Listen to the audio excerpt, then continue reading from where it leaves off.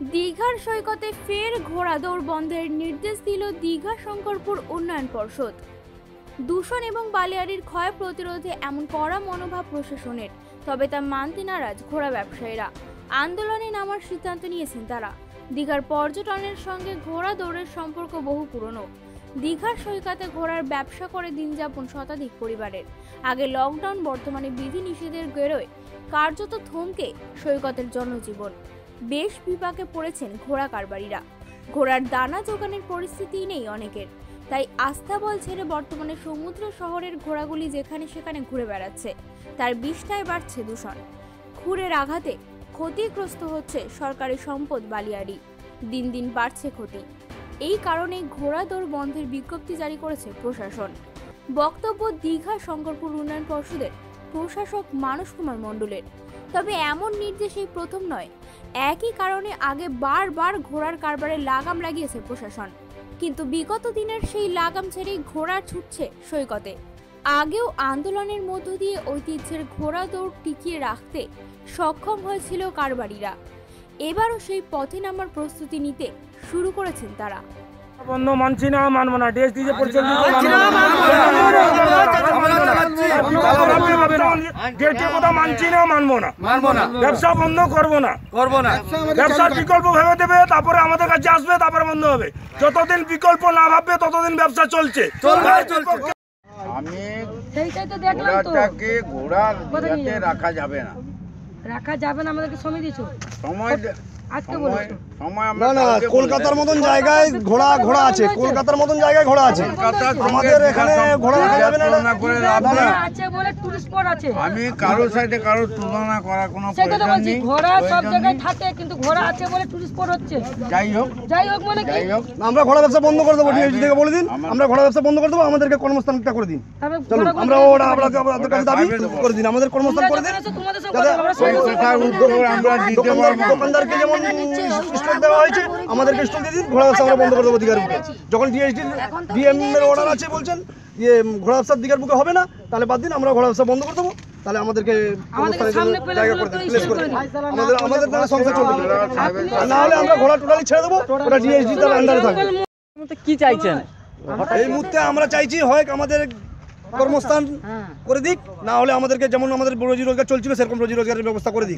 তারপরে এই যে বারজান বললেন বারজান বাবু বললেন যে বালি চলে গেছে ইয়াসের ঝড়ে যে ইয়েতে সমুদ্রে ঝড়ে যে জল বালিগুলো চলে গেল সেগুলো কি ঘোড়ার পা থেকে বালিগুলো চলে গেল নাকি?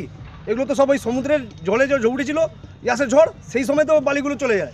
ঘোড়া চলাচলের করে কি ক্ষতি হচ্ছে? পর্ষদ কি বলছে? কোনোই কোনো কোনোই কিছু ক্ষতি হচ্ছে না। ওদের কাছে ক্ষতি হচ্ছে কি বালি আড়িয়া বালি কি চলে যাচ্ছে ঘোড়া পায়ে তোমরা আড়িয়া বালি কেটে কেটে বিক্রি করে দিচ্ছ সেটা বইয়ে নেই। আর আমরা আমাদের ঘোড়ার পায়ে বালি উঠে চলে যাচ্ছে কি সমুদ্রে চলে যাচ্ছে নাকি?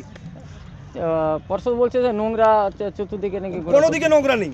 কোনো দিকটাই নোংরা। আমরা পরিষ্কার করে রেখে দিই রাখি। কোনো দিকে নোংরা নেই। কোনো সিবি ওরা ওরা জিসিবি দিয়ে বালি তুলে বিক্রি করে দিচ্ছে। হয়ে যাচ্ছে কিনা পশুদের নামে। আমাদের পশু পশু কি কোনোদিন বালি খাচ্ছে? বছর, পঞ্চাশ বছর যদি ব্যবসা করতে পারি বালি পশু তো বালি সরকার করছে থেকে করে পশু বালির মধ্যে বাঁধা আছে। ওরা যে বালি কেটে বিক্রি করছে করছে লজে লজে লাগছে একটা ড্রেন করছে বালি লাগছে ওদের। ওরা নিজে জিসিবি দিয়ে তুলে নিয়ে যাচ্ছে। রাত হলে চালান করে বালি বিক্রি করে দিচ্ছে। হচ্ছে কিনা পশুদের নামে। পশু কোনদিন বালি কি করবে পশু? গরিবের নামটাই ঝড়টা বেশি যায়। কেন? গরিব কি গরিব কি দেখতে খারাপ নাকি? বড় লোকের টাকা আছে ওদেরকে দেখতে ভালো? না টাকা ফ্রিজ দিয়ে এসি দিয়ে গাড়ি মানে রুমে শুয়েছে ওদেরকে দেখতে ভালো। এর জন্য কি ফরমান জারি করা হলো? ঘোড়ায় দীঘাতে থাকবে না তাই ঘোড়া যেখানে ছিল সেই জায়গাটা আমরা পরিষ্কার করে দিলাম মানে দীঘা পর্যটন কেন্দ্রে কোনো রকম কি ঘোড়া ব্যবসা করা যাবে না? ঘোড়া সাহেবের অর্ডার যে ঘোড়া রাখা যাবে না ওরা পায়খানা করে প্রচুর নোংরা করছে এবং যেসব জায়গায় বালিয়াড়ির মধ্যে ঘোড়া রাখা হয়েছে ভবিষ্যৎকালে ওই বালিয়াড়ি আজ থেকে পনেরো ফুট উঁচু ছিল এখন একদম বালির সঙ্গে মিশে গেছে। আচ্ছা এখন তো আংশিক লকডাউন চলছে বা সি বিচে বা সমুদ্র শান্ত বন্ধ রয়েছে পর্যটন আনাগোনাও বন্ধ রয়েছে। এই মুহূর্তে যে ঘোড়া ব্যবসা বন্ধ তার জন্য তো অনেকেই তো প্রতিবাদ করছেন সেটা তো এমনিই বন্ধ আছে তেমনি বন্ধ থাকবে সেটা তো কোনো কথা না পর্যটক নেই ঘোড়া ব্যবসা নেই। তো আমরা ওই সময় তো করেছি। এবার যে যার জায়গা যেখানে ঘোড়া রাখার সুবিধা অসুবিধা সে তার তার করে নেবে। তার ব্যবসা সে দেখে নেবে। পরবর্তীকালে পর্যটন আনাগোনা বাড়লে তখন কি ঘোড়া ব্যবসা করা যাবে? সেটা সাহেবের সঙ্গে কথা বলতে হবে। ওর উত্তর আমরা দিতে পারব। আপনার নাম? আমার নাম শেখ বারজাহান মোহাম্মদ। দীঘা পর্যটন কেন্দ্র এলাকায় ঘোড়া ব্যবসা বন্ধের একটা সিদ্ধান্ত নেওয়া হয়েছে। সেই বিষয়ে কী বলবেন? আপনারা জানেন যে দীঘা এমন একটা পর্যটন কেন্দ্র যেখানে সারা পশ্চিমবঙ্গ থেকে তো বটেই এবং ভারতবর্ষ বিভিন্ন জায়গা থেকে মানুষজন এখানে আসেন। দীঘার যে সৌন্দর্য সেটাকে উপভোগ করার জন্য, সমুদ্রের যে সৌন্দর্য সেটাকে উপভোগ করার জন্য।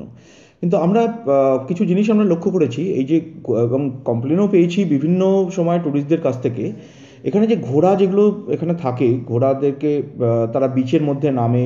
সেখানে বিচে সেখানটাতে তাদেরকে নিয়ে বিজনেস করে এই ঘোড়ার মালিকেরা। এবং সেখানকার থেকে ঘোড়ার যে বিষ্ঠা, সেই বিষ্ঠা প্রচণ্ড সাংঘাতিক, প্রচণ্ড বিষাক্ত এটা আমরা জানি। এবং সেই বিষ্ঠা সমুদ্রের জলের সাথে মিশে গিয়ে যে সমস্ত ট্যুরিস্টরা স্নান করছে, তাদের তাদের উপরেই চলে আসে, তাদের গায়ে হাতে গায়ে হাতে পায়ে লেগে যায়। এছাড়া আমাদের যে বীজ সংলগ্ন যে রাস্তা রয়েছে, যেটা সৈকত সরণি বা এটার এই বিচের উপরে যে, যেখান থেকে মানুষজন হাঁটাচলা করে, সেই সমস্ত জায়গাতেও এই ঘোড়াগুলো ঘুরে বেড়ায়, কোথায় তাকে নিয়ে এই সমস্ত তাদের যে ঘোড়ার মালিক তারা ওখানে ঘুরে বেড়ায় বিজনেস করে। সেখানটাতেও ঘোড়ার বিষ্ঠা পড়ে থাকে, তাদের সেইখান থেকে মানুষজনের পায়ে লাগছে, এবং এটার থেকে কি প্রবলেম হতে পারে সেটা আপনারা জানেন যে ঘোড়ার বিষ্ঠা কতটা সাংঘাতিক টিটেনাস বা এই ধরনের প্রবলেমগুলো হতে পারে, এটা আপনারা জানেন। এছাড়াও হচ্ছে যে, এদের ঘোড়ার খুঁড়ে, আমাদের বীজ সংলগ্ন যে রাস্তা টাইলস সেগুলো সাংঘাতিকভাবে ক্ষতিগ্রস্ত হচ্ছে। যেখানে সেখানে বিষ্ঠার বিষ্ঠা ত্যাগ করছে, এগুলোতে প্রচণ্ড ক্ষতি হচ্ছে এবং যখন প্রচণ্ড ভিড়ের সময়, সেইখান থেকেও দেখা গেছে বহু সময় যে ঘোড়া অত বড় একটা অ্যানিমাল সেটা দৌড়ে আসছে, মানুষজন ভয় ছোটাছুটি করছে, ধাক্কাধাক্কি লেগে যাচ্ছে। এই সমস্ত প্রবলেমগুলো আমরা দেখেছি। ট্যুরিস্টদের কাছ থেকেও বিভিন্ন সময় আমরা কমপ্লেন পেয়েছি যে এই ঘোড়াদের জন্য তাদের ঘোড়া হাঁটাচলা করতে বা ঘোরাঘুরি করতে খুব সমস্যা হচ্ছে। সেই কারণের জন্য একটা ডিসিশন নেওয়া হয়েছে যে আমরা দীঘা পর্যটন কেন্দ্রে কোনো রকম ঘোড়া আমরা বিজনেস করা যাবে না বা ঘোড়া এখানটা রাখা যাবে না। সেই ডিসিশনটা অনুসারেই আমরা এখন যেটা করছি যে এখান থেকে কোনো রকম তাদেরকে প্রচার করানো তাদেরকে জানানো যে আমরা এখান থেকে কোনো রকমভাবে ঘোড়ার বিজনেস করতে দেবো না। Manas Kumar Mondal executive officer Digha Shankarpur. এই তো আমাদের দু বছর লকডাউন পড়ে গেল। আমরা তো যদি লকডাউন যদি উঠল যদি ঘোড়া ব্যবসাটা সে আমাদের তো ছিল গরিব জীবনের সংসারে তো পরিবারে তো ফ্যামিলিতে দশজন বারোজন করে আটজন করে খেতে। এই হঠাৎ করে সাহেবরা এসে বলে তোমাদের ঘোড়া ব্যবসা এখন বন্ধ করো। এসে দড়ি টড়ি কেটে উঠে দিয়ে ঘোড়া টোড়া ছেড়ে দিয়েছে। এই ঘোড়াগুলো যদি গরিব যদি ক্ষতি করে এই ক্ষতিপূরণটা কী দেবো? আমরা কি করে চলবো? এরকম যদি পর্যটককে যদি এরা যদি এরকম যদি সাহেবরা যদি এরকম অত্যাচার করে তাহলে এই বাচ্চাগুলো কি করে খাবে? আচ্ছা কতটা পরিবার এই ঘোড়া ব্যবসার সঙ্গে যুক্ত? আমাদের ঘোড়া ব্যবসায় ছাব্বিশ জন পরিবার আছে। এখন পর্ষদ কি বলতে চাইছে? ওরা বলছে তোমরা ঘোড়া ব্যবসা বন্ধ করো। আমরা বলছি যে ঘোড়া ব্যবসা বন্ধ করো তাহলে আমাদেরকে কিছু বাসনদার করে দাও আমরা একটা দোকানদার করে দাও আমরা করে খাই। ঘোড়া তোমরা নিয়ে চলে যাও। না আমরা নিয়ে গিয়ে কী করব? তাহলে আমরা কী করব? আমরা তো ব্যবসায়ী তো ঘোড়াই ব্যবসায়ী। আমাদের তো আর কিছু ব্যবসা নেই আমাদের ঘোড়াই ব্যবসা। আমাদের ঘোড়া ব্যবসা হয়ে গেছে পঁয়তাল্লিশ বছর। আমাদের মা বাবার উমর থেকেও ধরতে গেলে হ্যাঁ ষাট থেকে ষাট পঁয়ষট্টি বছর ঘোড়া ব্যবসা হয়েছে। আপনারা কি ঘোড়া ব্যবসা করতেন? হ্যাঁ। এই মুহূর্তে কি সমস্যায় উনি বলছেন সিবিজে ঘোড়া রাখা যাবে না। আমরা বলছি কেন রাখা যাবে না? নোংরা করছে। বিকল্প যতক্ষণ না আছে ব্যবসা।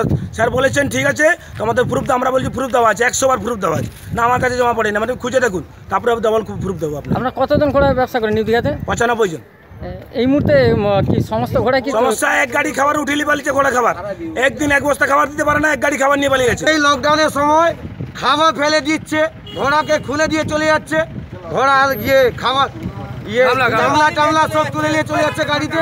খাবার সব ফেলে দিচ্ছে। একটা বস্তা দাম হচ্ছে বারোশো টাকা খাবার। ওইগুলো ফেলে দিয়ে চলে যাচ্ছে। ঘোড়া? ঘোড়া বলছে এখানে ঘোড়া রাখা যাবে না ঘোড়া চলবে না। আমরা এইটা তিরিশ বছর চল্লিশ বছর থেকে ব্যবসা করে আসছি কোনোদিন কোনো প্রবলেম হয়নি। এইবার দুবার তিনবার এরকম বন্ধ করে দিচ্ছে বারবার আমরা চালু করছি আবার বন্ধ করে দিচ্ছে। পূর্ব মেদিনীপুর থেকে মদন মাইতির রিপোর্ট টাইমস বাংলা।